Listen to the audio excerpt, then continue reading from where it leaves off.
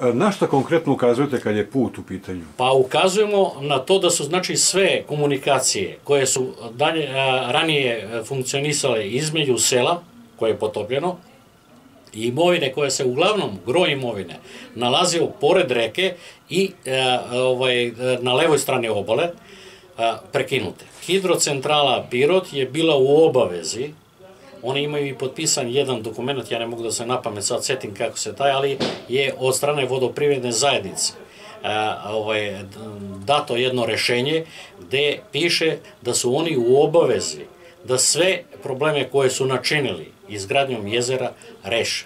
Oni nisu od toga rešili ništa.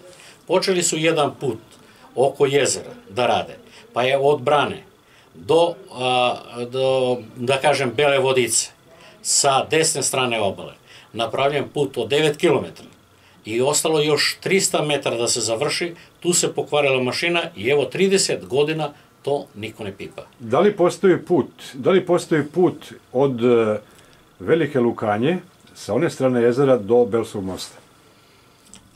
Od Velike Lukanje, e, gde je formirano to naselje, do Belskog mosta postoji put. I taj put je ovaj, sad asfaltiran.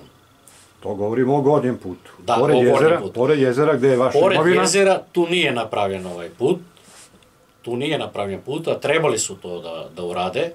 I put od Belskog mosta, pa pored jezera do brane opet nije sve završen. U prekidu je jedno 2 km. To isto stoji 30 godina. I onda se pitam, ako je neko investirao u taj projekat, da kažem 80%, dao sredstva, izgradio objekat, ali objekat ne može da se koristi. Pričamo o tom putu. Znači, ostalo još 300 metra sa jedne strane, a 9 km završeni. Pa ko je dao pare za taj 9 km? I zašto je to tako urađeno?